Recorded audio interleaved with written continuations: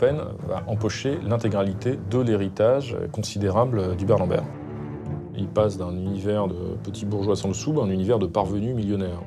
Il y avait chez François Mitterrand une volonté philosophique d'équilibre, mais je n'exclus pas non plus un peu de malice, car euh, c'était l'époque où il me disait il faut qu'on trouve les moyens de diviser la droite, il faut les diviser, disait-il. J'ai servi en Algérie, j'en suis fier, avec honneur, et j'ai été décoré. On s'aperçoit que Jean-Marie Le Pen est un bon client. Il a un ton de battleur qui passe bien, soit ce ton séduit, soit il horripile, mais en tout cas, il ne laisse pas sans intérêt. Je suis partie sans, sans une miette de la fortune des Lambert. Je suis partie sans rien. J'ai attendu des mois et des mois de voir si ma mère était à la sortie de mon école. Et je ne la vois plus jamais. J'en avais vraiment assez de la politique. C'était devenu trop envahissant pour moi. Je suis partie très vite. Sans préavis. Quitter Le Pen, c'est pas imaginable. On ne quitte pas Jean-Marie Le Pen et on ne quitte pas le chef. Vous avez compris, on en a marre Cette violence, c'était plus que de la violence, c'était de la haine, à laquelle je ne m'attendais pas du tout, m'a énormément choquée. Moi, je sors mon épée et je tue Brutus, avant qu'il me tue. Le Pen ne se cache plus d'être à la tête d'un parti qu'il considère comme son jouet. Et quand le jouet euh, lui résiste, il est prêt à le casser. Ma fille, on le sait, est, est liée à un des chefs de la sédition. Par conséquent, c'est un peu la loi naturelle qui porte les filles plutôt vers leur mari ou leur amant que vers leur père. On voit un Jean-Marie Le Pen qui répudie sa fille pratiquement euh, euh, en direct. Et moi 18. Non. Jospin 16, d'accord. Il n'y a pas eu un signe de joie, pas eu un signe de contentement de sa part? Non, il n'était pas content. Il n'était pas content. Il a toujours dit la retraite, c'est la mort. Je les vois, ces gens qui arrêtent, qui chaussent leurs pantoufles en rentrant à la maison, ils sont foutus. Il y a des portraits plus difficiles que d'autres. Celui de Jean-Marie Le Pen l'est forcément.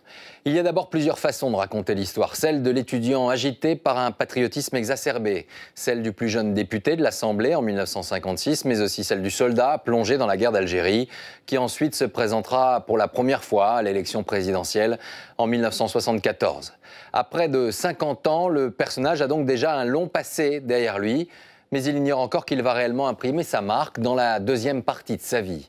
Une marque et une entreprise politique et familiale qui vont se construire au départ sur un double héritage, idéologique, mais aussi financier. Alors comment Jean-Marie Le Pen est-il devenu Le Pen? Comment a-t-il façonné ce parcours fait d'outrance, de combat? Et pourquoi ces dérapages ne l'ont-ils finalement pas tué politiquement?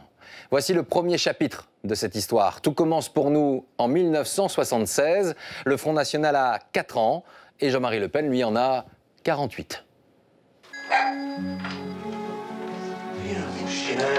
Viens, mon gentil. Viens, ma belle. Oui, oui, oui, oui, oui, oui. Oui, oui, oui, oui, oui. Allez, chien, doucement, doucement, doucement. Doucement, doucement. Là, ça va. On était déjà mariés depuis longtemps, on avait nos trois enfants, on était heureux. Euh, on habitait euh, un appartement agréable, euh, dans un quartier agréable.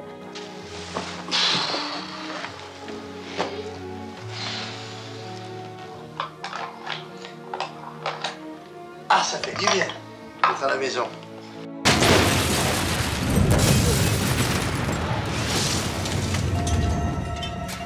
Le 2 novembre 1976, à 4h50, une explosion d'une violence inouïe souffle 12 appartements d'un immeuble de la Villa Poirier, dans le 15e arrondissement de Paris. On s'est précipité à la fenêtre. On était vraiment euh, sous le choc, quoi.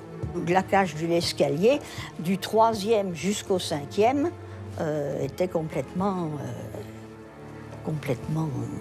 n'existait plus, quoi. Et on a entendu une énorme explosion. Alors moi, j'ai pensé que c'était la fin du monde. Ça rappelait un peu les, les moments de la guerre, quoi. Un des appartements détruits est celui du couple Le Pen et de leurs trois filles. Je ne savais pas si mes filles étaient mortes ou pas, parce que toujours après une explosion comme ça, il y a une espèce de silence euh, pesant. On s'est retrouvés toutes les trois euh, dans, au milieu des bouts de verre, en train de prier dans la nuit glaciale, en pensant qu'on était seuls au monde et qu'en fait, euh, nous étions les seules survivantes. Les parents ont été mais, morts d'angoisse pendant un certain temps. Ben, Il n'y avait plus de chambre, il n'y avait plus de lit, il n'y avait plus rien. Et à un moment, j'ai entendu la petite voix de Caro qui me dit Non, maman, maman, ça va bien, ça va bien, on est toutes vivantes. Euh, Je lui dis Surtout ne bougez pas, surtout ne bougez pas. Très vite, les enquêteurs découvrent que 5 kilos de dynamite ont été placés sur le palier de la famille Le Pen. C'était pas de l'intimidation, là, quand un immeuble dégringole, je veux dire, et, et avec le risque de tuer euh, plusieurs dizaines de personnes qui vivaient dans ce même immeuble, bon, il est certain que le but était bien d'éliminer Le Pen et toute sa famille. On voulait tuer toute la famille, manifestement. Ils ont raté leur coup. Ce matin du 2 novembre, la vie des Le Pen a changé. Dès lors, rien ne sera plus jamais comme avant. On a été traumatisés quand même. Pendant des années, nous avons été très traumatisés. Et on est resté longtemps, à se réveiller à, à l'heure de l'explosion. Les interrogations viennent. Pourquoi? Pourquoi avoir euh, Pourquoi on veut tuer mon père? Pourquoi est-ce qu'au-delà de vouloir tuer mon père, on veut tuer l'ensemble de sa famille? Pendant très longtemps, euh, cet événement, cet attentat, va être un élément très fondateur de la famille. Ça a été le sentiment que nous sommes une famille, que nos destins sont liés. L'attentat de la Villa Poirier n'est pas vraiment élucidé. Les hypothèses s'entrechoquent. Alors, qui a voulu tuer Jean-Marie Le Pen et sa famille? D'abord, en 1976, Jean-Marie Le Pen n'est pas seulement un père de famille ou un acteur politique. Il est aussi depuis quelques semaines un héritier. Au mois de septembre 1976, Hubert Lambert euh, décède. Hubert Lambert, qui est un richissime milliardaire euh, qui est mort très jeune, à, à 42 ans. Et il décède en léguant toute sa fortune à Jean-Marie Le Pen et à sa famille. Et c'est dans ce contexte-là que se produira l'attentat inexpliqué. Certains euh, vont échafauder l'hypothèse assez crédible que euh, on ait voulu faire disparaître l'ensemble de la famille Le Pen euh, pour que finalement l'héritage euh, Lambert euh, ne leur revienne pas. Car si vous y réfléchissez, Le Pen ayant fait cet héritage, il fallait tuer toute la famille. Il fallait essayer d'éradiquer les ayants droit en même temps que Le Pen lui-même. On a donc voulu tuer Jean-Marie Le Pen, et ce n'est apparemment pas l'homme politique qui était visé, mais plutôt l'héritier. Alors une tentative de meurtre par explosif pour une question d'argent et d'héritage, l'affaire mérite que l'on s'y attarde, d'autant que tout cela est loin d'être anecdotique pour la famille Le Pen. Un homme va donc bouleverser le cours de la vie de Jean-Marie Le Pen. C'est Hubert Lambert, richissime héritier des cimenteries Lambert. C'est un personnage de, de santé extrêmement fragile, euh, psychologiquement fragile. Dépressif chronique et alcoolique euh, notoire, euh, pris à la fois de crises d'épilepsie et de crises d'éthylisme. Ça dépendait des jours. Il y a parfois des moments où il avait des propos équilibrés et sensés, et d'autres moments où il rêvait. Des problèmes de santé, mais Hubert Lambert forme également un couple étrange avec sa mère, Angèle Lambert. Inséparables, ils vivent ensemble dans leur immense propriété de Montretout, sur les hauteurs de Saint-Cloud. À l'époque, euh, 42 ans, il vit avec sa vieille mère qui a plus de 80 ans. C'était le, le- le fils chéri euh, de sa mère qu'il a eu très âgé. Sa mère s'occupait de tout. La mère, parfois, euh, justement, n'hésite pas à prendre son fils dans son lit euh, pour, euh, pour le consoler. C'était fusionnel, quoi. Ah oui, très. Elle adorait son fils. C'est le, le seul enfant qu'elle ait eu. Et puis, Hubert adulait sa mère. Il faisait attention à elle, il faisait attention à lui. On disait d'eux que le cordon ombilical n'avait jamais été coupé. Fragile psychologiquement, fusionnel avec sa mère, Hubert Lambert a une passion, la politique. Et ce sont les milieux d'extrême droite qui le fascinent. On retrouve souvent à ses côtés un certain Pierre Sidos. J'avais des idées euh, au-delà de l'extrême droite, on, on dit d'extrême France, et que certains estimaient fascisantes. Ça correspondait à ses sentiments.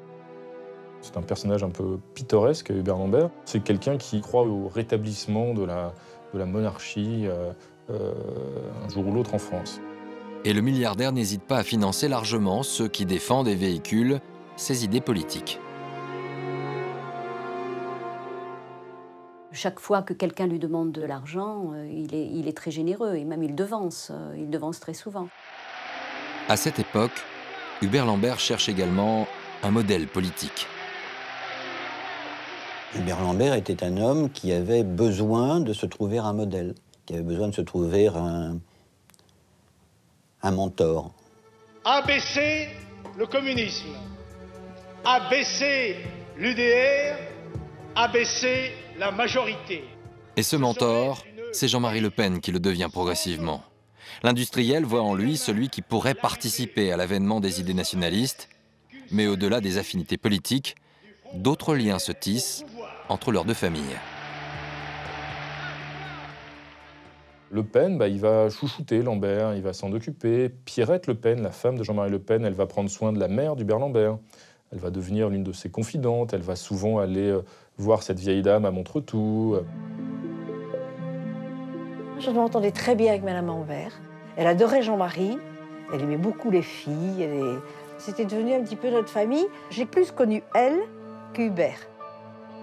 On ressentait l'affection réciproque qu'il y avait entre lui et Pierrette et Jean-Marie à l'époque. Et donc j'avais vu Monsieur Lambert qui était, euh, qui était très abandonné des siens d'ailleurs, ça je, je m'en rappelle, et qui était euh, chez les Le Pen comme dans sa famille. Car Hubert Lambert est méprisé par sa famille d'industriels. Alors Jean-Marie Le Pen apprend à combler ce vide affectif.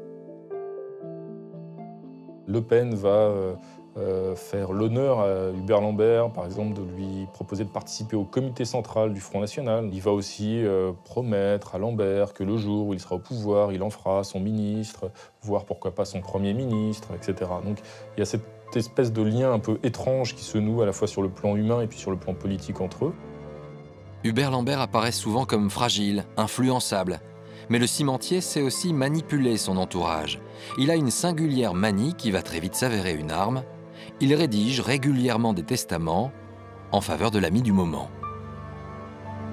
Il y a un petit jeu aussi qui s'installe assez rapidement euh, entre lui, sa mère et les milieux d'extrême droite. C'est-à-dire que, bon, euh, comme euh, il est de santé fragile, que sa mère a un certain âge, ils font miroiter à plusieurs personnes euh, le fait que peut-être qu'il pourrait être héritier.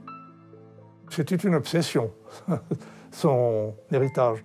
Hubert Lambert a multiplié les testaments euh, à divers euh, figures de la mouvance euh, nationaliste. Je pense par exemple à Pierre Sidos, grande figure de, l'extrême droite Algérie française. Lambert, pendant quelques mois, s'est pris de passion pour Pierre Sidos et avait rédigé un testament en sa faveur.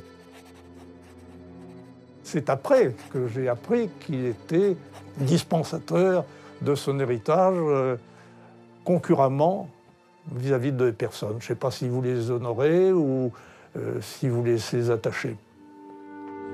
L'histoire avance, et une fois de plus, l'industriel va changer d'avis. Le 21 janvier 1976, il invite Jean-Marie Le Pen dans un grand restaurant parisien et lui annonce que cette fois c'est lui qui est devenu son héritier. Hubert Lambert va rédiger un testament en faveur de Le Pen, un testament dans lequel il précise donc il lèguera toute sa fortune à Jean-Marie Le Pen si jamais il décède. Même Lambert m'avait dit, mais écoutez, voilà, vous serez nos héritiers. Enfin, Hubert avait 42 ans à l'époque. euh, C'est... Bon, voilà, ça passe comme ça. Mais les choses vont se précipiter. Quelques mois plus tard, c'est d'abord Angèle Lambert qui disparaît. Un décès que ne supportera pas son fils. À son tour, le 24 septembre 1976, âgé de 42 ans, Hubert Lambert meurt d'une crise d'éthylisme mêlée à la prise de médicaments. Et là, on découvre que euh, Jean-Marie Le Pen euh, va empocher l'intégralité euh, de l'héritage considérable d'Hubert Lambert. Ça étonnait tout le monde parce que, notamment ceux qui avaient un testament, pour la bonne raison, c'est qu'on ignorait que Jean-Marie Le Pen le connaissait. On a été surpris. Cet héritage versé au chef du Front National touche également directement la dynastie Lambert.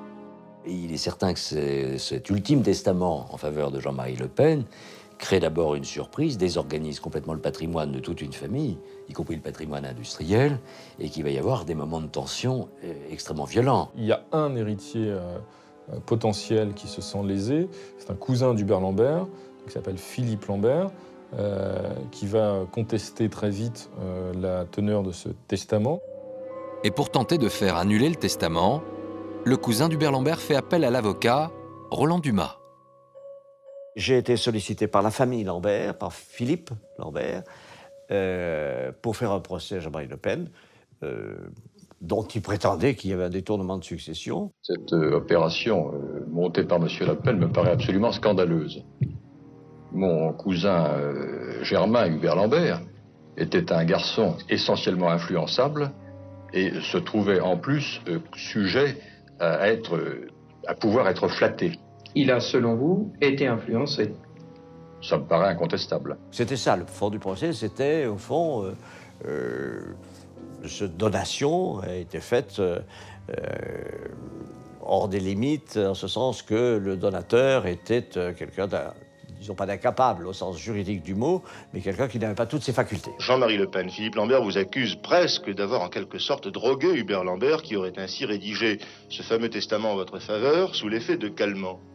Monsieur, je ne répondrai pas aux accusations de Monsieur Philippe Lambert. Cette affaire est devant la justice. Il appartiendra à M. Philippe Lambert de faire la preuve de ses assertions. Jean-Marie Le Pen aurait circonvenu ce, ce garçon qui n'avait pas toutes ses facultés et qu'il aurait, il aurait fait ce geste dans, sans considération pour le reste de la famille. Jean-Marie Le Pen conteste alors publiquement ces allégations. Il est bien sûr conscient que cet héritage peut changer sa vie. Mes amis Lambert ont décidé, dans, la plénitude de leur décision, de me désigner comme légataire.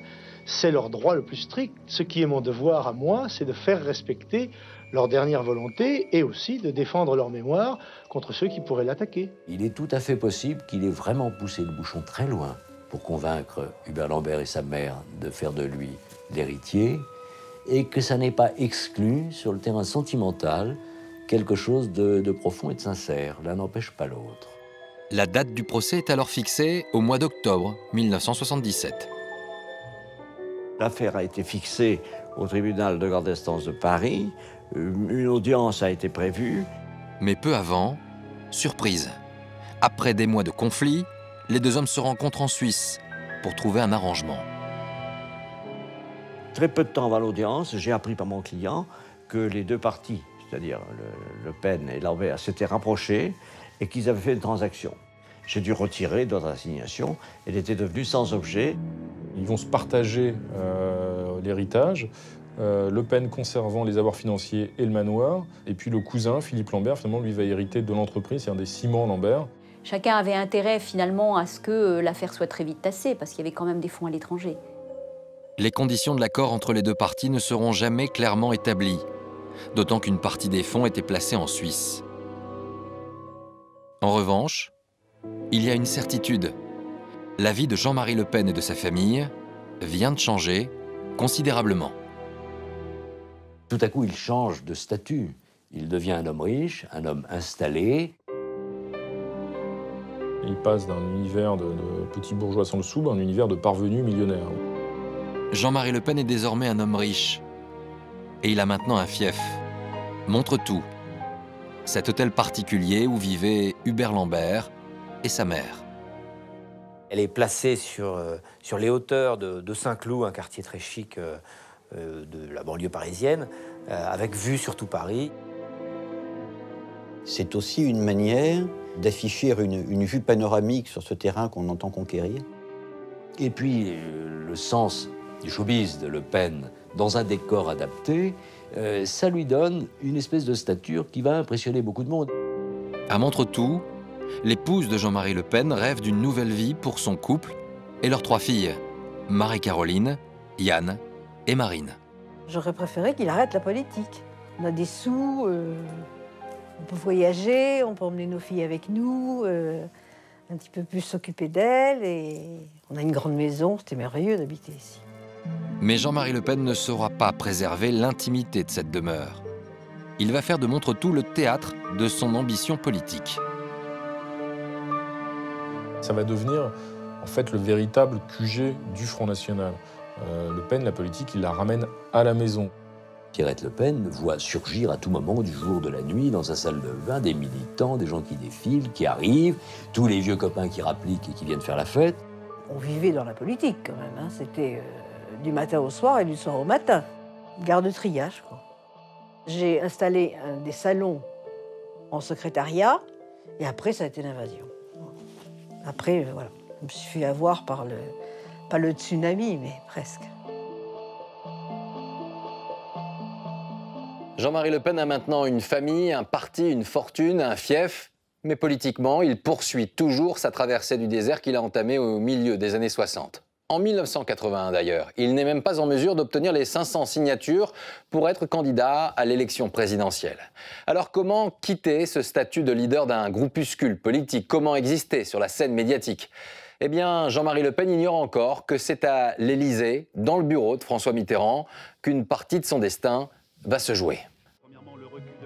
Au début des années 80, à la télévision, les personnalités politiques que l'on voit sont Georges Marchais, Raymond Barre, Gaston Defer ou encore Jacques Chirac.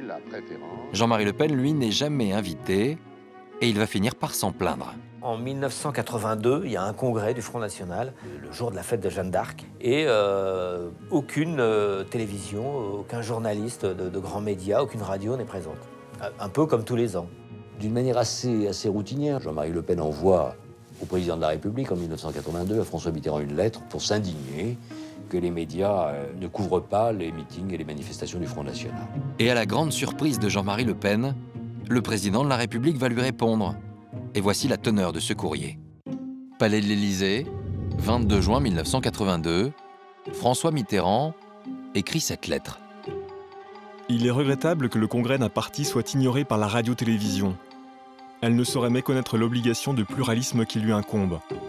Je demande à Monsieur le ministre de la Communication d'appeler l'attention des responsables des sociétés de radio-télévision sur ce manquement dont vous m'avez saisi. François Mitterrand m'avait parlé de cette lettre en me disant que c'était assez injuste, que la démocratie ne doit pas s'arrêter là parce que quelqu'un vous déplaît ou, tient un discours qui ne vous convient pas. Il a décidé de, faire une démarche pour rétablir les choses, rétablir l'équilibre des médias à l'égard du Front National. Et puis, euh, ça- la formation descend et euh, Jean-Marie Le Pen est invité euh, à un journal de 22 heures de TF1 euh, quelques temps après, voilà, sur ordre. Monsieur Le Pen connaît bien le président, il lui écrit fréquemment. Et d'ailleurs, ben oui, vous allez voir pourquoi je dis ça. Si vous êtes là, c'est parce que vous n'êtes pas content de la télévision. Et si vous n'êtes pas content de la télévision, je parle de TF1 pour l'instant, bien sûr, c'est parce qu'on n'a pas parlé du congrès du Front National qui se s'est déroulé le 7 et 8 mai dernier. C'est bien ça Oui. Bon, bon, alors, comme vous n'étiez pas content, qu'est-ce que vous Oui, avez fait écoutez. Vous avez pris votre plus belle plume et vous avez écrit au président Mitterrand pour vous plaindre du non-respect du pluralisme sur les antennes de la télévision. Alors, monsieur Le Pen, est-ce que lorsqu'on croit à une télévision euh, indépendante, on demande au président de vous donner un petit coup de pouce? Et c'est pas ça. Oui, quand la télévision dépend entièrement de l'État, oui. Je prends acte de la réponse du président de la République. Il a fait plus court que moi. Je lui avais écrit une longue lettre, mais je dois reconnaître que je considère, euh, je- je- dans le sens profond du terme, la réponse qui m'a été faite, je crois qu'elle est très importante et que si Jean-Marie Le Pen prend acte de ce geste de François Mitterrand. Mais alors pourquoi le président de la République a-t-il fait ce choix? D'abord parce que les deux hommes se connaissent depuis quelques années. Depuis 1956 précisément. À l'époque, Jean-Marie Le Pen est le benjamin de l'Assemblée, sous l'étiquette poujadiste. Ils ont été parlementaires et des acteurs de la période de la quatrième République. Ils ont été des opposants radicaux au gaullisme. Il n'y a pas un véritable antagonisme euh, politique, oui, mais personnel, non, entre Mitterrand et, et Le Pen. François Mitterrand, lors d'un entretien que j'ai eu avec lui, m'a dit Jean-Marie Le Pen a une culture classique, c'est un bon tribun. euh, Comme moi, il a une grande culture littéraire. Je le connais, je savais que ça serait un bon tribun. Il avait un certain respect pour euh, Jean-Marie Le Pen en disant, à une époque où les choses euh, se, se délitaient en France, le seul homme politique de droite qui fasse la politique, c'est Le Pen. Il disait, c'est un homme politique de premier plan.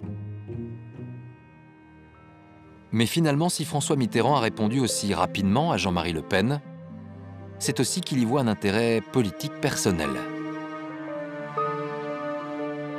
Il y avait chez François Mitterrand une volonté philosophique d'équilibre, mais je n'exclus pas non plus un peu de malice, car euh, c'était l'époque où il me disait il faut qu'on trouve les moyens de diviser la droite. Il faut les diviser, disait-il. Mitterrand est un, est un machiavélien, donc par conséquent, euh, s'il pensait que ça pouvait le servir à l'émergence du Front National, il l'a sûrement fait.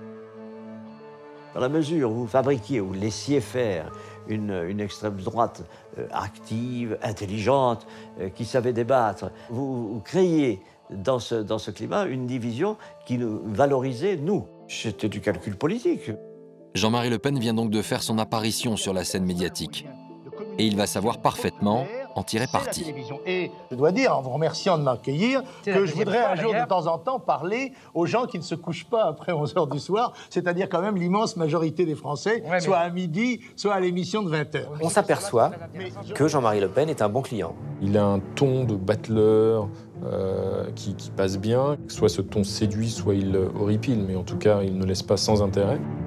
Le pouvoir politique n'a plus besoin d'inciter euh, qui que ce soit pour qu'il soit invité. Il est invité lui-même. quoi. Jean-Marie Le Pen va donc tracer progressivement son chemin médiatique. Mais c'est le 13 février 1984 qu'il va véritablement entrer dans l'arène politique. Inviter Jean-Marie Le Pen à une émission comme L'heure de vérité à l'époque, c'est donner une tribune, incontestablement, à quelqu'un qui n'est encore qu'aux marges de la politique. Donc ça lui donne effectivement une tribune tout à fait inespérée. C'était un grand honneur. Et pour cette première grande sortie médiatique, Jean-Marie Le Pen met aussi en scène sa famille. Ses trois filles et sa femme Pierrette l'accompagnent. Jean-Marie nous l'avait demandé. Il était fier de nous, je suppose. Euh, euh, trois filles blondes, euh, jolies quand même. Pourquoi pas les montrer? Nous participons euh, à, à cette émission parce qu'il est aussi euh, important de montrer que euh, nous sommes une famille euh, unie, nous sommes une famille euh, solidaire. Il joue beaucoup euh, sur ses filles, sur sa femme, sur leur blondeur, pour euh, adoucir peut-être son personnage euh, politique. Pour le leader du Front National, l'enjeu est important. C'est l'occasion de se faire enfin connaître du grand public. Dans la cabine de maquillage, avant, Jean-Marie Le Pen me dit euh, J'ai l'impression que je vais repasser l'oral de mon baccalauréat. Un examen de passage qui aurait pu ne pas avoir lieu, car cette invitation du leader d'extrême droite fait réellement débat. Dans l'histoire de l'heure de vérité, qui est quand même l'émission politique qui a duré 11 années, euh, c'est la seule fois où nous avons voté entre nous pour savoir si on invitait ou si on n'invitait pas Jean-Marie Le Pen. Et euh, ça a vraiment été euh, voté ric-rac. hein. Cette invitation, vous le savez, ne fait pas plaisir à tout le monde. Il y a actuellement devant cette maison des manifestations. Et appel au boycott, le nouvel observateur ajoute, il aurait mieux valu l'ignorer. Il y avait un escadron de gendarmerie, une compagnie de CRS, des bruits d'attentats. Hein, C'était. euh, je veux dire, on avait un peu l'impression qu'on rejouait comme climat certaines phases de la fin de la guerre d'Algérie. Car au cours de cette émission, certains sujets tabous vont être pour la première fois abordés frontalement à la télévision, comme celui de la torture en Algérie. Très spontanément, un certain nombre de gens disaient ben, Vous allez interroger Le Pen, c'est la première fois qu'on va le faire. Euh, il faut que vous sachiez ceci, il faut que vous ayez tel document. Ce rapport déclare Lors de son arrestation, deux fils électriques furent reliés au lobe de ses oreilles et le lieutenant Le Pen lui-même voyait des décharges électriques dans le corps. C'est vrai que c'est du jamais vu que des sujets aussi euh, sulfureux euh, soient abordés dans le cadre d'une émission politique. Scandaleux ce que vous dites là, c'est scandaleux. Sur la guerre d'Algérie, il s'est fâché. Où a-t-il témoigné de cela? Scandaleux, c'est une provocation policière. Un homme politique euh, euh, qui, qui veut avoir en même temps une stature nationale et qui est directement accusé d'avoir manié la gégène euh, et, et- et d'avoir mis lui-même les électrodes sur des, des corps humains, il sait bien que ça passe pas facilement. J'ai servi en Algérie, j'en suis fier, avec honneur, et j'ai été décoré. Il ne nie pas, il noie. Il ne répond pas sur ce qu'il a fait lui, il répond d'une manière générale sur ce qu'il fallait faire à l'époque pour défendre son pays. Ce soir-là, Jean-Marie Le Pen ne va pas s'en tenir à répondre aux questions. Il a la ferme intention de marquer les esprits autrement. On imaginait qu'il y aurait un moment quelque chose dont l'objectif était de casser tous les rituels. Mais on ne savait pas à quel moment ça arriverait. Moi, je suis journaliste et je continue à poser mes questions, si vous le voulez bien. Je voudrais poser une question particulièrement sur les restructurations industrielles. C'est difficile de savoir quelle est la bonne réaction à avoir. Ça se passe en, en un quart de seconde.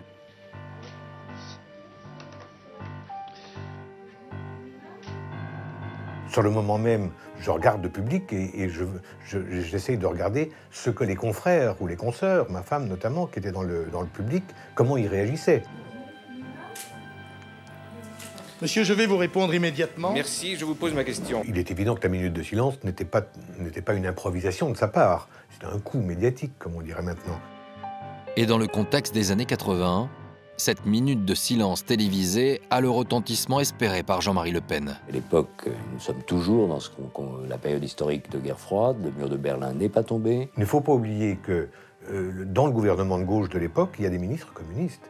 Il existe des gens qui, de bonne foi, sans être euh, quoi que ce soit fasciste, sont véritablement persuadés qu'après l'élection de François Mitterrand, eh bien, il y aura les chars soviétiques qui débouleront sur la place de la Concorde. Alors, Jean-Marie Le Pen a-t-il réussi son examen de passage? C'est-à-dire qu'il a été très bon d'un point de vue télévisuel, évidemment. Je ne parle pas d'un point de vue politique. Il a été très bon tout de suite. Le Pen va véritablement crever l'écran avec toute la facilité dont il est capable, le sens de la provocation et en même temps un discours extrêmement maîtrisé. Le chef du Front National est maintenant connu de tous les Français. Et ce soir-là, il élargit considérablement son électorat potentiel. Au lendemain de l'émission, euh, le bénéficiaire, c'était Jean-Marie Le Pen. Il ne faut pas raconter le contraire. Le lendemain, les journaux qui ont tout couvert quand même l'événement, euh, ça nous a fait de la publicité quand même. Jean-Marie Le Pen, de 9,5 à 11. On a rempli les oreilles des auditeurs. Comme Le Pen le disait, ce soir-là, au minimum un million de voix, peut-être plus, en une seule émission. Ils ont vu déferler euh, des centaines de personnes qui voulaient adhérer au FN, séduits par le, le premier passage euh, euh, de Le Pen à la télé. Et cette percée médiatique va se confirmer dans les urnes. Le 17 juin 1984, Jean-Marie Le Pen est élu député européen. Subitement, le Front National rentre au Parlement européen, dépasse la barre des 10% des voix, euh, ce qui veut dire qu'il est désormais un, un grand parti politique. Enfin, c'était euh, extraordinaire. On n'en revenait pas. Ça fait depuis l'âge de de 26 ans, il est député, il fait de la politique, il se bat, il prend des coups. Enfin, euh, on avait une victoire. Et à 56 ans, le leader du Front National croit alors qu'il est en train de vivre sa consécration politique.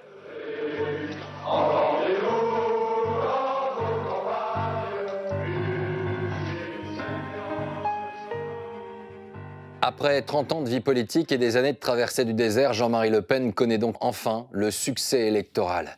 Mais la vie politique accapare tellement le leader du Front National qu'il en oublie sa vie personnelle et familiale. Il ne sait pas encore que c'est de l'intérieur que l'entreprise Le Pen va être déstabilisée. Le 10 octobre 1984, au petit matin, alors que la maison est encore endormie, Pierrette Le Pen quitte secrètement montre tout. Je suis partie très vite, sans préavis. Tout ça a pris euh, la tournure d'une fuite.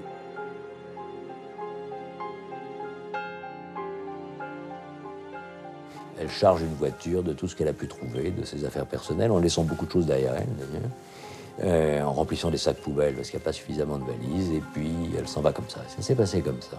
Elle a pris ses fourrures, donc euh, signe qu'en effet, elle n'a aucunement envie de revenir à la maison.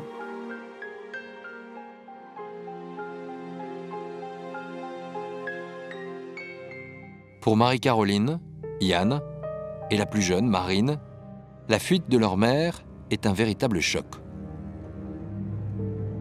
C'était un mercredi. J'avais école le matin et, ma sœur est venue me chercher à l'école. On m'a fait sortir euh, de, cours et elle, m'a dit Maman est partie. Je lui dis Mais partie, elle est partie en vacances, euh, est partie prendre l'air, est partie. euh. Non, elle m'a dit Elle est vraiment partie. Et elle m'a emmenée dans sa chambre parce qu'en fait, quelque part, je crois qu'elle veut me mettre euh, devant la, réalité et il n'y a plus rien, quoi. Il n'y a plus ses affaires, y a... tout est vidé. Marine était toute petite, euh, enfin petite, elle avait 15-16 ans. Et elle a énormément souffert, Marine. Énormément. Et les autres aussi, bien sûr. Mais Marine, elle ne s'y attendait pas parce que pour elle, on représentait euh, le couple idéal. Et son monde s'est effondré. J'ai attendu des mois et des mois de voir si ma mère était à la sortie de mon école. Je regardais dans la rue en me disant un jour, je vais peut-être la voir, elle va passer en voiture, elle va et je ne la vois plus jamais. Le jour du départ de Pierrette Le Pen, le leader du Front National est à Strasbourg en session du Parlement européen. Il est foudroyé par la nouvelle. Quitter Le Pen, euh, c'est pas imaginable. On ne quitte pas Jean-Marie Le Pen et on ne quitte pas le chef. Je pensais que pour Pierrette Le Pen, le succès politique venant, le succès matériel lié à l'héritage Lambert, tout ça ne pouvait que consolider la famille et pas du tout préparer une, une telle explosion, un tel éclatement. Et c'est au moment où il acquiert euh, l'opulence que sa femme fiche le camp. Donc il n'a pas compris. Il n'a jamais compris que le mode de vie qu'il proposait à sa femme ne lui convenait plus et que ça n'était plus possible. En effet, Pierrette Le Pen ne supporte plus sa vie au service des ambitions politiques de son mari. J'en avais vraiment assez de la politique. C'était devenu trop envahissant pour moi. Et Jean-Marie était de moins en moins là. Euh, Strasbourg, euh, euh, je traversais peut-être une phase difficile, d'un moment difficile d'une femme. Et c'est un homme qui va savoir compenser l'absence de Jean-Marie Le Pen. Il s'appelle Jean Marcilly. Il est engagé par le Front National pour écrire la biographie de son président. Alors depuis plusieurs mois, il ne le quitte plus, il l'accompagne partout comme ce jour de février pour l'émission L'heure de vérité. Et Jean-Marie Le Pen finit même par lui proposer de s'installer quelque temps à Montretout. Il lui a dit, ben, écoutez, euh, la maison est vaste, installez-vous. euh, vous savez. Il a installé le loup à domicile, quoi. Jean Marcy va tellement s'intéresser en fait au, devenir de, de- de Le Pen et de la famille Le Pen en général qu'il va s'intéresser de plus en plus à son épouse. Elle a été euh, subjuguée hein, par, par, par cet individu qui apparaissait comme euh, une espèce de, de- de romantique du 19e siècle, hein, qu'elle est partie avec lui, voilà. C'est une histoire euh, tout à fait euh, banale, hein, de province presque, du bovarisme. C'est un coup de tête, un coup de folie, complètement idiote. Pour le chef du Front National, l'affaire devient personnellement insupportable et potentiellement préjudiciable politiquement.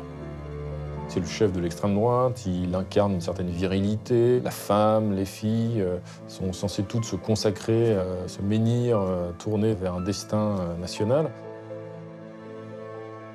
Le Front National, après tout, c'est le parti de la famille. Euh, c'est pas le parti euh, des familles recomposées. Pour la première fois de sa vie, Jean-Marie Le Pen semble vraiment s'effondrer. Un soir, on sonne à l'interphone euh, et c'était Jean-Marie qui venait à la maison pour me le dire. À l'improviste, comme ça. Il s'est assis dans le fauteuil et il m'a dit Pierrette est partie. Voilà. C'était la perte de- du maillon qu'il croyait le plus solide. Il disait toujours Bon, euh, euh, Pierrette et moi, nous sommes euh, aussi de vieux camarades avec toute l'importance qu'il accorde au mot camarade. Après cette période d'abattement, Jean-Marie Le Pen finit par se ressaisir. Il va désormais choisir le combat. En réponse à la trahison, il engage un bras de fer sans merci pour le divorce, et en particulier en ce qui concerne leur bien commun, l'héritage Lambert. Quand il a compris qu'en fait, euh, elle ne reviendrait pas, la vengeance a été terrible. Jean-Marie Le Pen s'est battu comme un chien. Et quand on sait l'amour qu'il a pour les procédures, alors quand en plus il y a un enjeu matériel extrêmement élevé, vous pouvez imaginer dans quel climat les choses se sont, se sont déroulées. Jean-Marie Le Pen décide d'abord de couper les vivres à sa femme. Il accumule les charges et les témoignages contre elle, et un an plus tard, le divorce va être prononcé au tort exclusif de Pierrette Le Pen. difficile de gagner un divorce quand on quitte le domicile conjugal, quand on s'en va avec son, son- son amant, qu'on s'installe avec lui. Donc elle a perdu tous les avantages qu'elle aurait pu avoir si elle avait gagné un divorce. Pierrette Le Pen a donc tout perdu. Elle fait cependant appel du jugement et décide, conseillée par son amant, d'utiliser les médias pour se défendre. Jean Marcy entend bien convaincre Pierrette Le Pen qu'elle a sa part de cet héritage et qu'il faut utiliser tous les moyens pour arracher à Jean-Marie Le Pen une partie de tout ça. Je suis partie sans, sans une miette de la fortune des Lambert. Je suis partie sans rien. Et j'attends toujours, même depuis un an, de récupérer mes propres effets, sur quoi Maître Collard euh, essaie de, de récupérer mes propres affaires. Pendant quatre ans, le divorce va s'enliser sur fond de guerre médiatique et en avril 1987, dans le journal Playboy, Jean-Marie Le Pen s'amuse même des déboires financiers de son ex-femme. Si elle manque d'argent, elle n'a qu'à faire des ménages, dit-il. Alors deux mois plus tard, dans le même journal, Pierrette Lalanne, ex-Le Pen, va lui opposer un droit de réponse assez spectaculaire. Le 12 juin 1987, la rumeur de cette publication arrive jusqu'à Montretout. On sait depuis la nuit qu'il y a un problème avec cette publication, Playboy en l'occurrence. Euh, il y a quelques idées sur le contenu, mais enfin évidemment il faut se procurer le plus rapidement possible euh, le document et il va bien falloir le lui montrer. Et c'est Laurent de Satafrique, alors proche conseiller de Jean-Marie Le Pen, qui se charge de cette tâche délicate. Ça fait en deux temps. Je veux dire qu'à une heure d'intervalle, il a été prévenu qu'il allait euh, y avoir un problème. Et puis ensuite... euh, Ensuite, Jean-Marie Le Pen découvre les photos, un affront direct à l'homme politique de premier plan qu'il entend être. C'est comme la première fois qu'un leader politique euh, de dimension nationale voit comme ça son épouse, en l'occurrence son ex-épouse, euh, posée euh, nue ou en tout cas largement dévêtue euh, dans Playboy. Donc c'est un retentissement considérable. Nous sommes au Palais Bourbon, et ce jour-là, on ne parle que d'une chose. Le numéro de Playboy, il s'arrache. Euh, il fait les, les, les- les travées de- du Palais Bourbon, les députés se jettent sur Playboy, euh, ça ricane, ça rigole.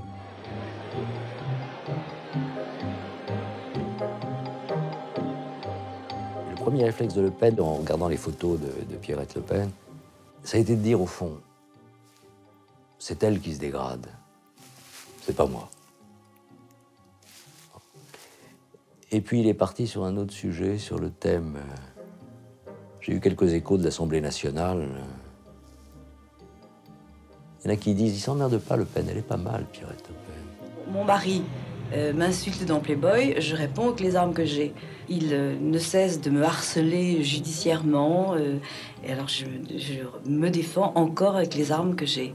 Euh, je le fais sciemment, euh, je règle des comptes. Maître Collard est là, c'est mon avocat, et euh, nous ferons ensemble ce qu'il faut au moment où il faudra. On a affaire à un couple qui va offrir le spectacle de, sa, de sa querelle. Et chacun va utiliser euh, les médias hein, pour, euh, pour s'insulter, pour euh, plaider finalement le divorce sur la place publique. On voit un couple euh, se déchirer et ne plus réfléchir. Tout ce qui les intéresse, c'est se faire du mal l'un l'autre, en prenant le monde euh, en témoignage. quoi. C'est euh, c'est l'impudeur totale. J'étais furieuse euh, contre lui, contre la politique, contre plein de choses. Et lui aussi, bien sûr, puisque c'est moi qui l'ai quitté, il était foudrage, il comprenait pas. euh, voilà, donc on s'est blessé, on s'est euh, on s'est fait du mal. voilà, c'était horrible. Ça fait beaucoup souffrir mes filles. Je regrette. Et les trois filles Le Pen vont dès lors inconditionnellement prendre le parti de leur père. 15 jours après la parution de Playboy, Marie-Caroline, Yann et Marine attaquent leur mère dans Paris Match.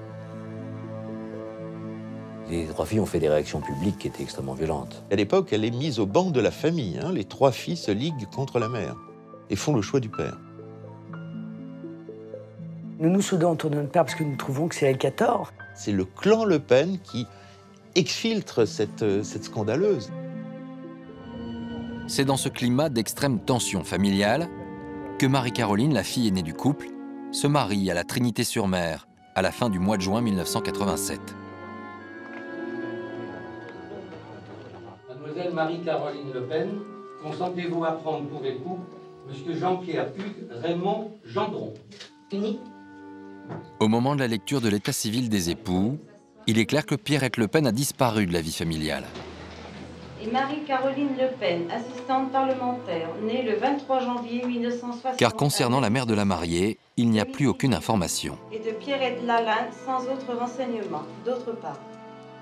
À l'église, aux côtés de Marie-Caroline et de son époux, il n'y a donc qu'une seule figure, celle de son père. Jean-Marie Le Pen va désormais tout miser sur son aîné.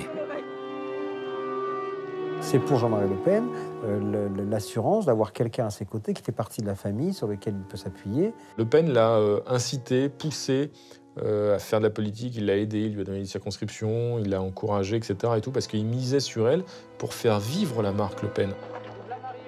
On peut peut-être transmettre l'appareil, parce qu'il n'est pas question pour lui de le laisser ou de le léguer à quelqu'un qui ne fait pas partie de son, de son clan.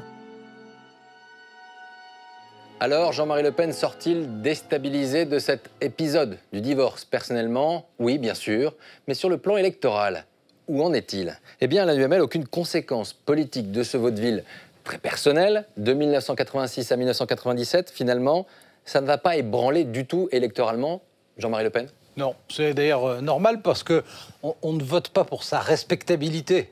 Euh, on vote pour sa capacité de protestation. Même dans cet électorat traditionnaliste, ses affaires Vous savez, dans son, dans son, électorat, la fraction traditionnaliste est très minoritaire. Il y a d'abord une large assise populaire protestataire, et c'est ça dont il joue le plus. Alors, ceux qui ont vu euh, les articles et les reportages photos, surtout sur sa femme, par mhm. exemple, ricanent, mais politiquement, ça n'a strictement aucun effet. Électoralement, en 1986, 35 députés du Front National rentrent à l'Assemblée nationale. Il va vouloir aller plus loin, Jean-Marie Le Pen. On va parler de certains dérapages. On va d'abord l'écouter. C'était en 1987. Nous sommes le 13 septembre. Il était alors l'invité d'RTL. On l'écoute. Je me pose un certain nombre de questions et euh, je ne dis pas que les chambres à gaz n'ont pas existé. Euh, je n'ai pas pu moi-même en voir. Je n'ai pas étudié spécialement la question mais je crois que c'est un point de détail de l'histoire de la Deuxième Guerre mondiale. Qu'est-ce que vous vous dites, Alain Duhamel, quand d'abord vous entendez ces propos? Quelle est votre première bah, réaction? bah, Pour être vraiment sincère, je crois que c'est à peu près ce que j'ai entendu de pire euh, en 40 ans. En 40 ans d'analyse politique, c'est la phrase... Je crois que c'est la phrase qui m'a le plus sincèrement choqué. Alors je voyais très bien tout son raisonnement, toutes ses hésitations, toutes ses précautions. Je n'ai pas étudié moi-même, c'est de la blague tout hmm. ça. Il savait très bien de quoi il s'agissait. Et je n'ai jamais cru que c'était spontané. Je pense qu'il avait envie de dire quelque chose de ce genre. Est-ce que c'est une réponse idéologique ou c'est un, un, coup de com médiatique, terrible coup de com médiatique? Je pense que malheureusement, il est assez vraisemblable qu'il pense ce qu'il dit quand il le dit. Mais pour l'essentiel, oui, il cherche à être sur la scène médiatique le trublion. Et plus il trouble, et là Dieu sait qu'il a troublé, plus il trouble, plus au fond il est satisfait il y aura des condamnations judiciaires, il y aura d'autres dérapages, du rafour crématoire, on s'en souvient en 1988. Euh, ces excès, ces dérapages, c'est uniquement, selon vous, la provocation Il y a cette idée qu'au fond, euh, il veut être le dernier défenseur d'une société et d'une France qui a disparu. Ne pas être l'homme de droite de plus Non, il, veut, il, veut, être une sorte de euh, conservateur fort en gueule de la France telle qu'elle était avant les années 30, avec un empire colonial, avec une grande armée, euh, totalement indépendante, patriote, aveugle aussi, mais ça, ça ne l'intéresse pas. Je crois qu'il y, a cette idée-là, et puis il y a une autre idée, qu'il est euh, fasciné par son propre talent. Et donc, plus il se met en scène, plus il s'admire lui-même. Sa voix, c'est l'élément, euh, les mots. Sa, voix, sa présence, parce qu'il a une présence, on peut pas dire le contraire, son naturel sur une scène ou, à une émission, euh, le, fait qu'il intimide aussi beaucoup. Euh, je pense que pour lui, ce sont des moments de jouissance. Alors, Jean-Marie Le Pen a donc connu des succès électoraux depuis 1986. Nous sommes désormais en 1997. Et depuis quelque temps, un homme tente de faire entendre une deuxième voix au sein de son parti. Il s'agit de Bruno Maigret, seulement pour le chef du Front National. Une seule marque, une seule voix est légitime, la sienne. Une fois encore, c'est de l'intérieur que l'entreprise Le Pen va se retrouver déstabilisée. Nous sommes le vendredi 30 mai 1997 le dernier jour de campagne de l'entre-deux tours des élections législatives. Et Marie-Caroline Le Pen est arrivée en tête au premier tour dans la circonscription de Mantes-la-Jolie, en banlieue parisienne. Son père décide ce jour-là de venir la soutenir. Au moment de son arrivée, ses partisans et un groupe de manifestants s'invectivent. Et lorsque la voiture de Jean-Marie Le Pen arrive, elle ne s'arrête pas au bon endroit. Alors que le groupe euh, des pro-lepénistes était très identifiable, la voiture de M. Le Pen aurait dû aller s'arrêter devant eux. Ils se sont arrêtés juste en plein milieu du groupe des contre-manifestants. On aurait dû aller plus loin, rejoindre euh, le- les partisans du Front National, mais M. Le Pen, pensant que nous étions arrivés à destination, au point prévu, est sorti de sa voiture. On voit Le Pen sortir de la voiture et se rendre compte d'un seul coup qu'il n'est pas au milieu de ces manifestants, qu'il ne peut pas sortir en lançant les bras en l'air comme il fait dans ce genre de situation. Jean-Marie Le Pen est furieux et immédiatement la situation tourne à l'affrontement. Tout se passe très vite, tout se passe très vite. Nous, on a vu les manifestants courir vers la voiture. À ce moment-là, moi, je me suis éjecté de ma voiture et puis son garde du corps privé euh, est sorti également. Moi-même, j'ai été obligé de repousser donc, de la jambe un des manifestants. Et là, c'était donc la, la bousculade. Quoi. Il est remonté vers nous, en bras de chemise avec ses gardes du corps, et euh, tous ceux qui se trouvaient au travers du chemin ont pris euh, qui des coups de chaussures, qui des coups de bâton.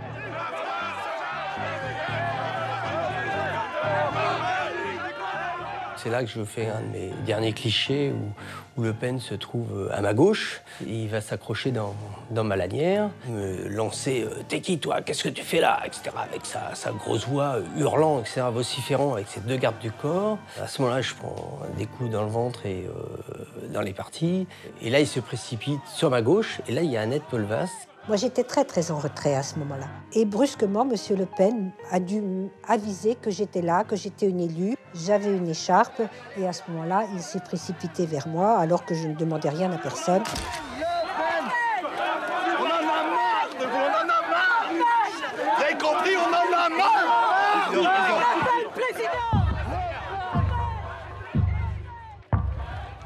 Cette violence, c'était plus que de la violence, c'était de la haine, à laquelle je ne m'attendais pas du tout, m'a énormément choquée.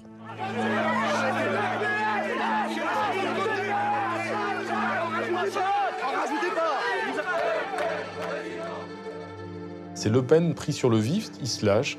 Euh, il est à la fois euh, euh, exaspéré par ce climat, etc. En même temps, il est, c'est calculé, c'est-à-dire qu'il est ravi euh, d'afficher sa force brute, sa virilité, sa dimension de chef qui n'a pas peur d'aller au combat. Il refait toujours un peu l'Algérie, hein, Le Pen. Alors, c'est pas l'Algérie, c'est Annette Pelvas-Berjal sur le marché de Mantes-la-Jolie. Et la séquence n'est pas terminée. Les incidents se poursuivent. Tu vas voir, ça pète Je vais te faire courir, moi, tu vas voir le rouquin là-bas Hein? PD Quelqu'un qui est un chef de parti, qui prétend euh, à cette époque-là un jour gouverner la France, à longueur de discours et de tribune, et qui fait le coup de poing. Voilà, c'est c'est l'expression de la culture politique du Front National portée par Jean-Marie Le Pen à ce moment-là. Vous avez été l'homme quasiment jusqu'à vous-même, vous mêlez à la bagarre. Ah bah, dans la mesure où on m'agresse, moi, j'ai jamais eu peur d'un autre homme, ni même de plusieurs. Et c'est ça la nature profonde du personnage. Ah, ça me rajeunit Mais la contre-manifestation prend tellement d'ampleur que Jean-Marie Le Pen est finalement obligé de se réfugier dans un café avec ses troupes et sa fille.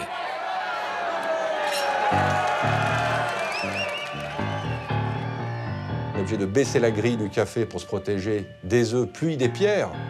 Il y avait à ce moment-là la volonté de, de ne pas laisser M. Le Pen repartir comme ça et de lui faire quelques tâches à son costume. La police, là, ils sont casqués, euh, bottés, euh, prêts à sortir les lacrymos, etc. Euh, ça commence à devenir très chaud. Marie-Caroline s'efforce alors de garder le sourire devant les caméras et les photographes. Mais elle sait bien que la visite mouvementée de son père est un véritable gâchis pour sa campagne.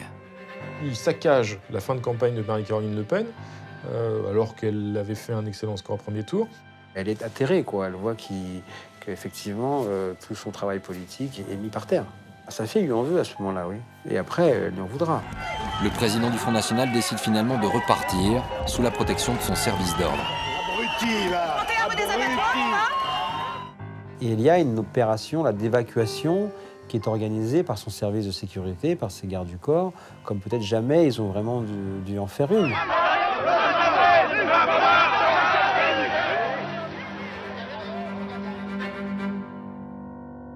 L'affaire de Mantes-la-Jolie fait très vite la une de l'actualité. Jean-Marie Le Pen se retrouve alors sous la menace de deux années d'inéligibilité, ce qui l'empêcherait de se présenter aux élections européennes de 1999. Pour faire face à ce scénario, il a alors une idée bien à lui, et il va la proposer à l'Université d'été du Front National au mois d'août 1998. Il a laissé entendre, et il le confirme à Toulon, à l'Université d'été, que s'il n'est pas en mesure de conduire la liste du FN aux européennes, ben, il choisira sa femme, Jeannie Le Pen, pour conduire cette liste. Jeannie Le Pen, la nouvelle épouse de Jean-Marie Le Pen depuis 1991. C'est son épouse que le président du Front National pourrait désigner comme tête de liste aux prochaines élections européennes. Alors c'est un choix qui, est- qui- qui surprend, que Jeannie Le Pen, euh, c'est tout sauf une femme politique. Je serai un bon petit soldat, s'il faut, je, je, je le ferai euh, à mon corps défendant, mais s'il faut, je- je- je- j'essaierai d'être capable de- de- d'être digne de, de- de ce- de cette mission. Il me dit, eh, tiens, et pourquoi toi tu serais pas à ma, tu serais, tu serais pas, tu portes mon nom? Je dis, mais moi je suis complètement ignare en politique. Qu'est-ce que c'est que cette histoire? Et Tu portes mon nom, voilà. Tu serais mon étendard? Il se dit, euh, on a voulu empêcher un Le Pen, ce sera quand même un Le Pen ou une Le Pen, le nom de Le Pen, qui portera la liste. C'est la préférence familiale. Le FN, pour lui, c'est une entreprise familiale. Euh, ce qui compte, c'est la marque Le Pen plus que le Front National. Mais si Jean-Marie Le Pen tente d'imposer son épouse, c'est aussi qu'il a une autre idée en tête. À partir du moment où il dit bah, je vais pas y aller, mais je vais demander à Jeannie d'y aller, c'est évidemment une provocation. À l'encontre de Bruno Maigret, c'est tout à fait clair. Bruno Maigret, le numéro 2 du parti. Il ne cache plus ses ambitions depuis quelque temps. Et il revendique en cas d'empêchement du leader la place de tête de liste. Maigret commence à, à monter dans l'appareil, il dirige euh, les services qui comptent. Il met en place, à l'intérieur du paquebot, une véritable contre-hiérarchie. C'est la naissance d'une marque concurrente, en quelque sorte. Il y a toujours la marque Le Pen, évidemment, qui est la marque dominante du FN, mais il y a une autre marque qui commence à s'imposer, c'est la marque Maigret. Il a cherché à prendre l'appareil du front, petit à petit. Et à l'université du Front National, Bruno Maigret va vouloir aller plus loin en affichant sa différence. Je pense que la candidature de Jeannie Le Pen n'est pas une bonne euh, idée et euh, je suis moi-même candidat euh, à cette responsabilité. Je pense qu'à ce moment-là, il tombe dans un piège euh, tendu par Jean-Marie Le Pen, qui sait parfaitement comment provoquer Bruno Maigret. Vous savez, au Front National, c'est le président qui établit la liste des européennes et qui la conduit, en général. Et je pense qu'il n'y a pas de raison que cela change. C'est la première fois que Bruno Maigret sort du bois et officiellement euh, affiche une, une ambition euh, rivale et susceptible de contrecarrer les plans de Le Pen. Maigret fait sans doute une erreur, là, de précipitation. En tout cas, le, le- le- le coup qu'il lui porte est jugé comme euh, une trahison. Il a trahi parce qu'il était trop ambitieux. Il voulait vite, euh, vite gagner. Alors Jean-Marie Le Pen va en profiter pour remettre les points sur les i et rappeler qui est à ses yeux le chef incontesté du parti. Il n'y a qu'un seul numéro au FN, c'est le numéro 1, élu à l'unanimité par le Congrès. Il hurle ça en plein soleil à la tribune, euh, tandis que euh, tout au fond, euh, à l'une des tables du banquet, Maigret est tout recroquevillé avec quelques-uns de ses fidèles et fait semblant de ne pas entendre. Si Dieu me prête vie. C'est le Führerprinzip. Le principe du, du Führer, c'est euh, le chef qui décide et euh, sa volonté euh, doit s'imposer à tous. Le, le parti euh, en interne n'est pas démocratique. Et les choses ne vont pas en rester là. La fronde a même pris de l'ampleur. Le 5 décembre 1998, à la Maison de la Chimie à Paris, c'est l'heure du Conseil national du FN, un conseil national qui va tourner à l'affrontement entre le péniste et maigretiste. Du matin au soir, euh, le FN va laver son linge sale en famille et euh, dans ce huis clos, ils vont se balancer à la figure, tous ils se reprochent les uns les autres. On est dehors, on entend que ça se passe très mal, on entend des cris à travers euh, les fenêtres. Des partisans de Bruno Maigret enregistrent alors clandestinement ce conseil. Au milieu des hurlements, Jean-Marie Le Pen a pour la première fois du mal à se faire entendre au sein de son propre mouvement.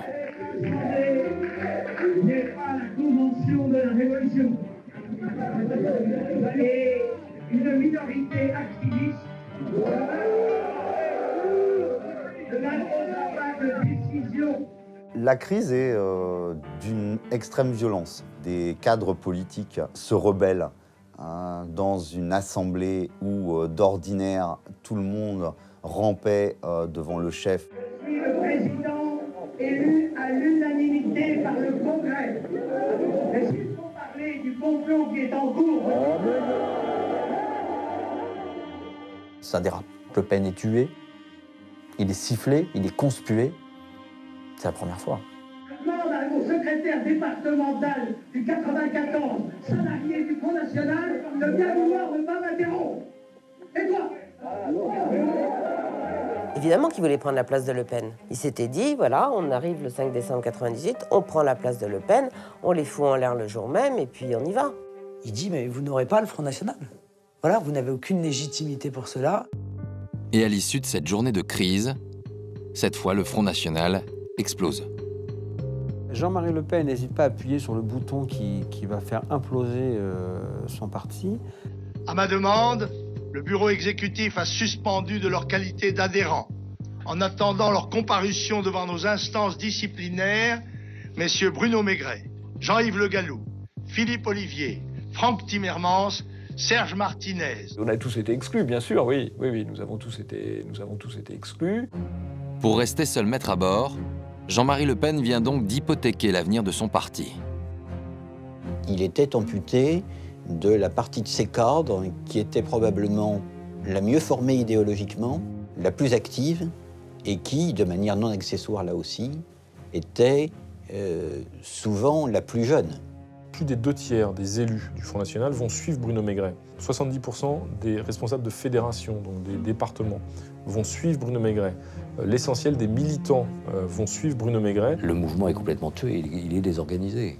Ce qui me différencie de César, vers lequel s'approchait son fils spirituel Brutus, le poignard à la main, moi je sors mon épée et je tue Brutus avant qu'il me tue.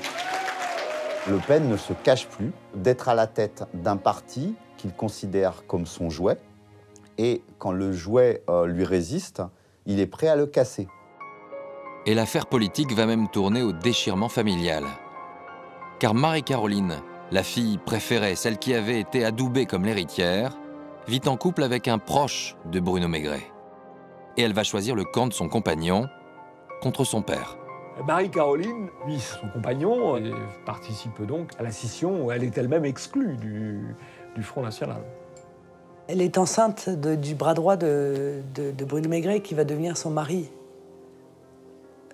Donc, euh, si vous voulez, euh, je veux dire, au-delà même euh, des, options politiques qui étaient les siennes, voilà, elle, elle, suit évidemment son, noyau familial qui, qui n'est plus le nôtre. Comme sa mère 15 ans plus tôt, Marie-Caroline quitte alors Montretout sans préavis. Du jour au lendemain, euh, elle fait ses bagages. En 48 heures, ils ont déménagé. Ça a blessé Jean-Marie. Il a dit Elle est comme sa mère, c'est une femme lune. Elle est partie par passion euh, pour un autre, et là pour un homme qui ne m'aimait pas. C'est une chose euh, d'autant plus douloureuse quand on sait la confiance en plus que Le Pen avait en Marie-Caroline. Et comme avec son épouse, la guerre entre le père et sa fille va prendre une tournure médiatique. Avant la mort du père, votre propre fille, votre fille aînée, Marie-Caroline, vient elle aussi de se rallier à elle. Cette idée d'un congrès extraordinaire, elle veut quand même pas la tête de son père. elle.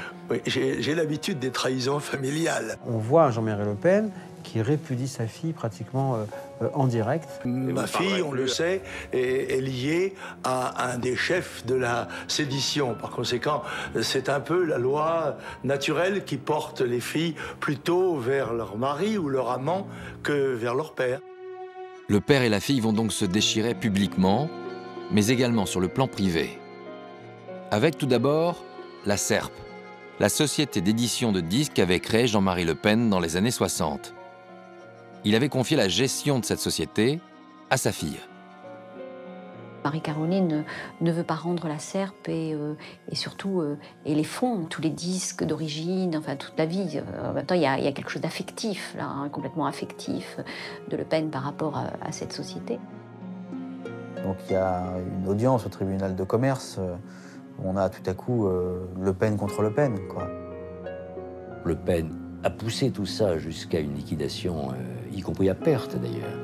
Il a préféré couler le truc plutôt que de faire la moindre concession à la fille qu'il avait trahie. Pour des raisons fiscales, Jean-Marie Le Pen avait aussi mis au nom de Marie-Caroline une partie de la maison familiale de la Trinité-sur-Mer. Marie-Caroline, une fois qu'elle est partie, euh, a refusé euh, de rendre la maison. Donc il y a eu, il y a eu un procès, Jean-Marie Le Pen a perdu, et Marie-Caroline a gardé la maison. Elle l'a vendue d'ailleurs depuis euh, à des inconnus.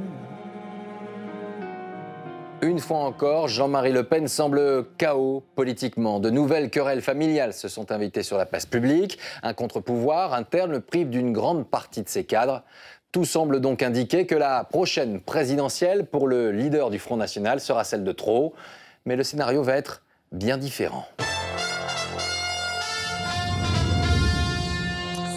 Moment de choisir. Depuis 8 heures ce matin, les bureaux de vote sont ouverts pour le premier tour de la présidentielle. 64 000 bureaux pour 40 Le 21 avril 2002, la France vote. À voter.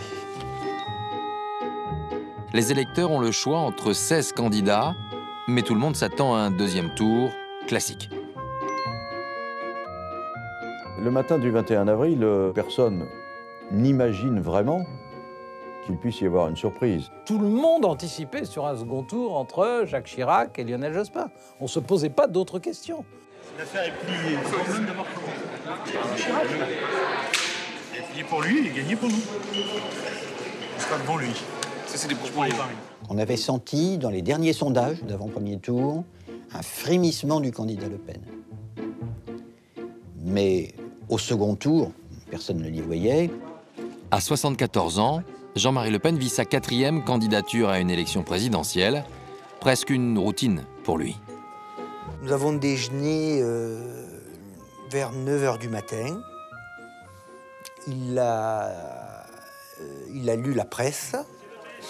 Nous sommes allés voter euh, à Saint-Cloud, je crois, vers 11h. Mais très vite, le président du Front National semble comprendre que quelque chose va se passer. Je reçois un coup de téléphone de, je crois, la Nouvelle-Calédonie, où les premiers résultats tombent. Donc je lui passe la communication. Et à partir de là, il me dit, il y a quelque chose il y a quelque chose qui va se passer.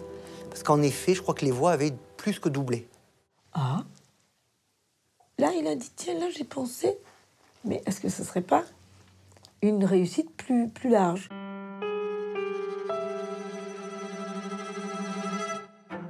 En attendant les résultats, Jean-Marie Le Pen passe l'après-midi dans la maison où il vit avec sa femme Janie, à Rueil-Malmaison.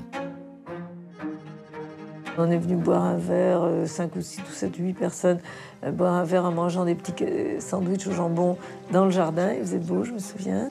Et c'est tout. Bon, euh, il s'est retrouvé seul, il veut être tranquille.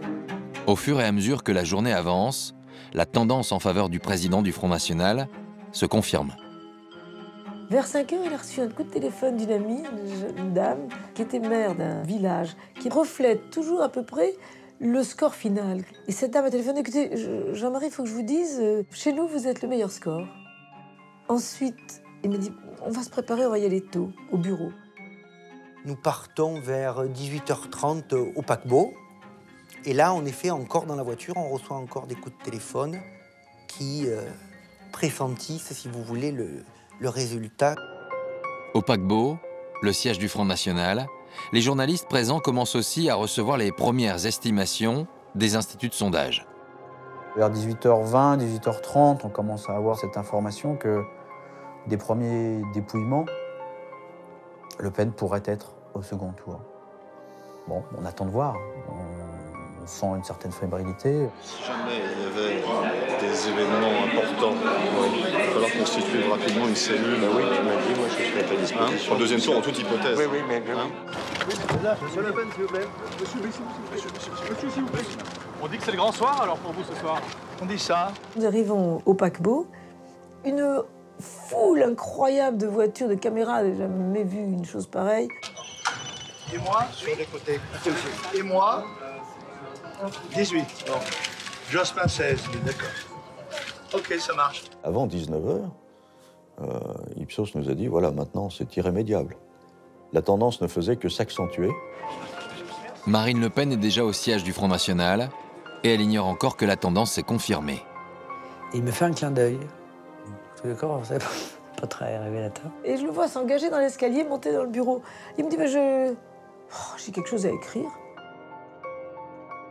Je suis monté dans son bureau. Il me refait un clin d'œil, mais appuyé. Et je lui dis, mais. Et il me dit, on y est.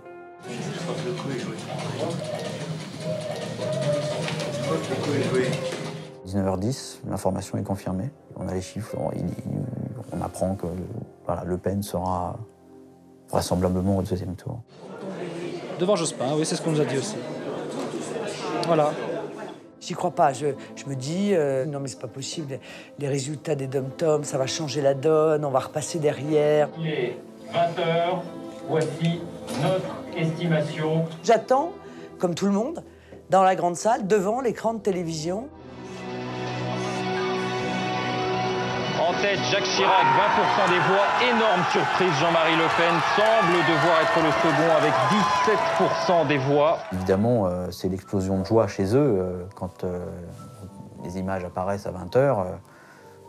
Chirac, Le Pen. Je me rappelle, ils étaient tous en armes. Marine était très émue. Ça a été un- une, une grande soirée de bonheur, ça, ouais.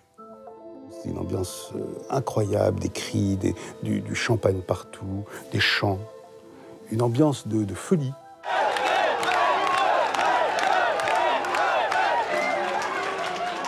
Mais au même moment, dans le bureau de Jean-Marie Le Pen, étrangement, l'atmosphère est très différente. avec 17,9% donc des suffrages. Mais lui n'a eu, n'a manifesté presque rien. Il n'y a pas eu un signe euh, de joie, pas eu un signe de contentement de sa part. Il a eu un visage au contraire euh, extrêmement fermé. Non, il n'était pas content. À quoi pense le président du Front National en cet instant de consécration? Pourquoi a-t-il à ce moment précis cet air si grave? Ce soir-là, deux journalistes sont présents dans le bureau de Jean-Marie Le Pen et chacun a son point de vue. Il a ce qu'il attendait depuis très longtemps, euh, juste au moment euh, où son appareil est complètement affaibli. hein, euh, il n'a jamais réussi à remonter la scission de 99. Il n'avait pas les états-majors, il n'avait pas les troupes, c'était un homme seul. C'était pas les quelques mecs qu'il y avait au Front National qui allaient faire une prise de pouvoir. Donc il n'a rien de prêt, rien, rien. Il n'y a rien dans les cartons, rien de prêt. Vous allez le truc quand même. Vous allez y aller un peu. Non, on n'est pas prêt. On n'était pas prêt d'abord parce qu'on n'en avait jamais vécu. Donc tant que vous n'en avez jamais vécu, un, vous n'êtes pas prêt. Et donc il sentait que tout ça était trop tard dans sa vie. Dix ans avant, euh, hein, bon, il y avait encore la force. Mais là, Jean-Marie Le Pen a du mal à dissimuler sa mauvaise humeur. Et dans sa première réaction télévisée, il ne parle que de défaite et non de victoire. Eh bien, je crois que c'est une grande défaite des deux, une grande défaite des deux leaders de l'établissement. Son but, c'était quoi? Arriver juste derrière Lionel Jospin et ensuite peser sur le deuxième tour pour faire battre Chirac. Et avoir tout un jeu qui se réouvre, comme ça a été le cas au début des années 80 avec l'arrivée de François Mitterrand. manque de bol, il bat Jospin. Il y a toutes les voix de gauche qui vont se trouver complètement désemparées par ce deuxième tour. Certains vont peut-être aller voter Jacques Chirac, d'autres vont sans doute s'abstenir. Qu'est-ce que vous avez à leur dire à ces Et, et électeurs de la voteront gauche Jean-Marie Le Pen. Et qu'est-ce que vous d'autres avez voteront Jean-Marie Le Pen parce que vous distinguez comme ça arbitrairement, euh, vous partagez les électeurs entre électeurs de gauche et électeurs de droite. Il sait déjà ce qu'il attend. Il sait que si vraiment l'électorat de gauche va euh, aux urnes pour voter Chirac, plus les électeurs de Chirac, il sait qu'il va faire un score euh, misérable. Car au soir du 21 avril, dans toute la France, les foules s'emparent de la rue pour manifester immédiatement leur hostilité aux leaders d'extrême droite.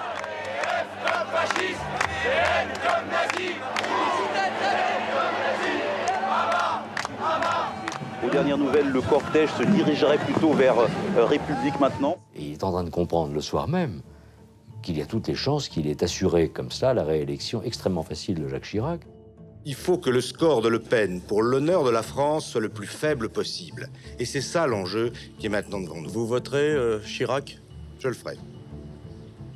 Formellement? Je viens de vous le dire. Pour Le Pen, c'est une catastrophe. Chirac, c'est le pire des traîtres. On sait que Chirac a jamais voulu recevoir officiellement dans un palais de la République euh, Jean-Marie Le Pen, qu'il a toujours méprisé absolument. La France euh, ne peut attendre.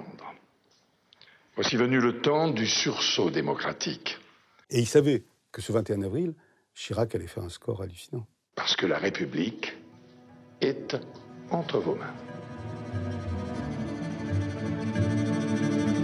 Alors c'est vous, Serge Moiti, qui filmez ce visage le 21 avril 2002, aux alentours de 20h, ce visage d'un homme finalement presque désemparé. On a envie d'en savoir un petit peu plus. Vous dites que ce résultat, il arrive d'abord trop tard pour Jean-Marie Le Pen, c'est ce que vous Oui, il a ressentez 74 ans. Il a 74 ans.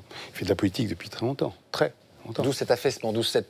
Cette, euh, à la fois, gravité, mélancolie, et en même temps, il se dit comment je vais faire maintenant?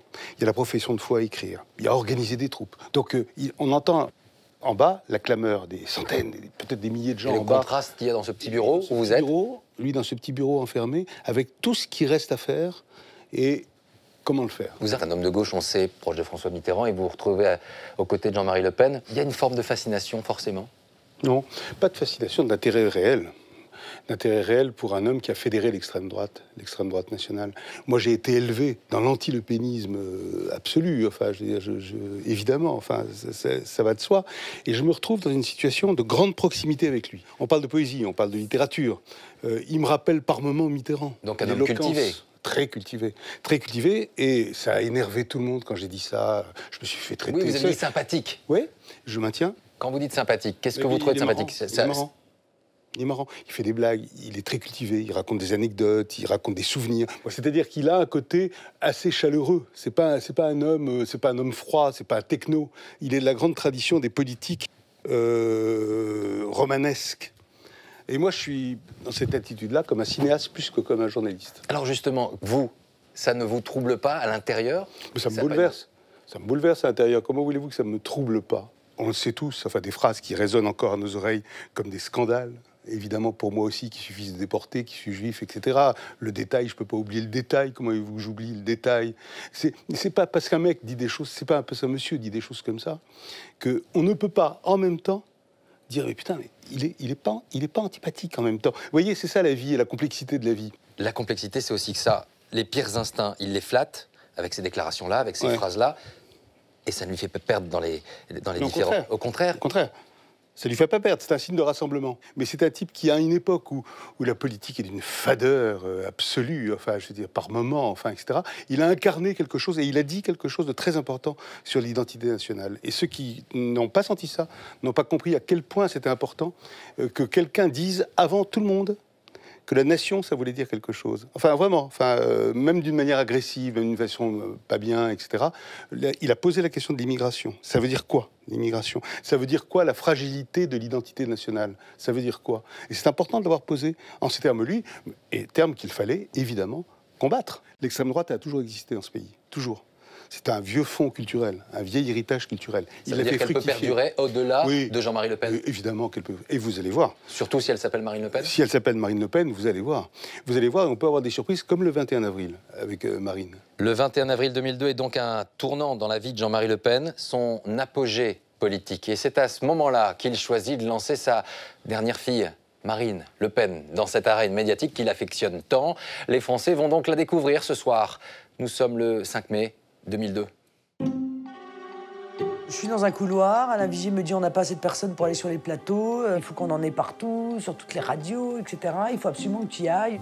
Je dis ça va pas, non.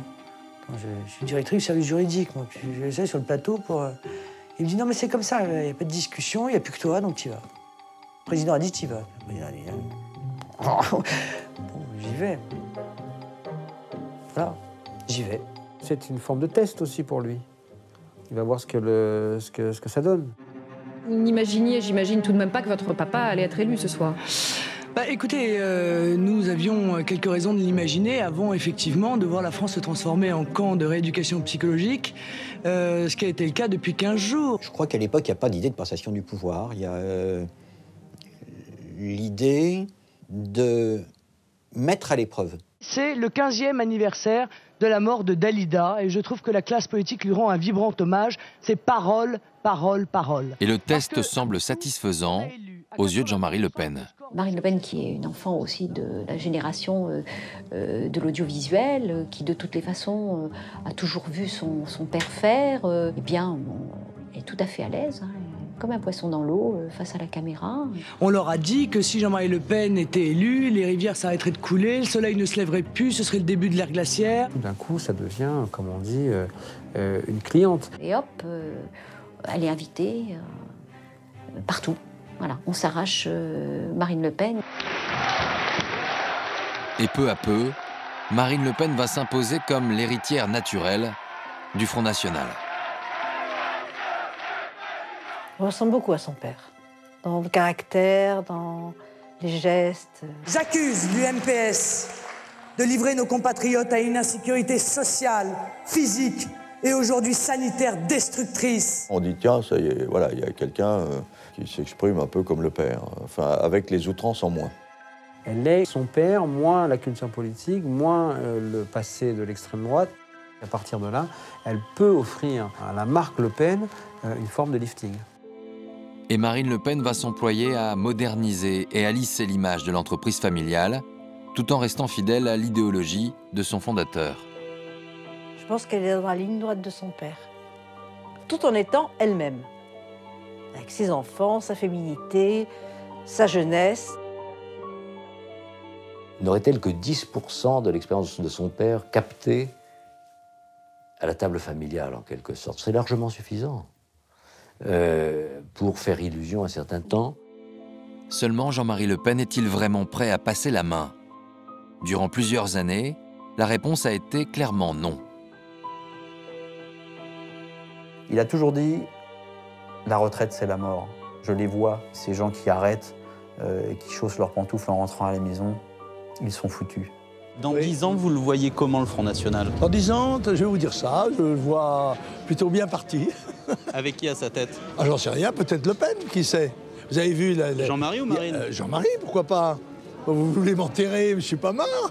Bah, c'est pas, c'est pas évident. Enfin, je veux dire, c'est, c'est, c'est, c'est- c'est sa chose, c'est son bébé, c'est lui qui l'a créé. C'est, il n'est pas un président du Front National. Il est le seul président que le Front National ait connu. Mais à 82 ans, Jean-Marie Le Pen sait qu'il n'est pas éternel. Alors il lui faut bien envisager l'après. Même s'il se refuse à l'adouber officiellement, le jour où il annonce qu'il n'entend plus se lancer dans une nouvelle course présidentielle, il choisit de poser devant un photographe. Et qui retrouve-t-on à ses côtés? Marine, bien sûr. Il a dû avoir une sorte de jalousie par moment. Enfin, à la fois, euh, ma fille était patente, et bien, parce que c'est la fille qui n'a pas trahi, en plus, c'est la fille qui n'est pas... Il ne faut jamais oublier ça. Et euh, il l'aime, quoi. Je crois qu'il l'aime beaucoup. Mais ah, c'est sa mort qu'il voyait inscrite aussi. Euh, sa disparition. Finalement, pour Jean-Marie Le Pen, la seule issue supportable, c'est sa fille. Il a fini par se laisser convaincre que probablement c'était la meilleure solution. C'est la solution qu'il souhaitait pour la raison que l'on sait, la conservation de la marque, le fait que a encore quelque chose à gratter un jour, ça restera dans la famille et que ça passe pas chez les étrangers. Tout au long de ces années, le clan familial s'est divisé, déchiré. Mais l'essentiel pour Jean-Marie Le Pen, c'est aujourd'hui la transmission. Faire perdurer la marque Le Pen. Un jour, euh, il y a bien longtemps, nous étions sur la terrasse du bureau de Jean-Marie Le Pen à Saint-Cloud. Il m'avait dit ce jour-là, euh, mais en regardant euh, en l'air, comme si on regardait la, marque Le Pen s'étalant sur une usine, vous voyez. Qu'est-ce que ça peut valoir tout ça? Bon, il regardait le ciel. Mais il voyait le siège du mouvement avec une énorme pancarte Le Pen. C'était un siège social, c'était pas un parti politique. C'était euh, l'équivalent d'une usine euh, familiale, le fondateur, qui a eu l'idée de génie, qui l'a commercialisé, qui a fondé quelque chose destiné à durer des siècles.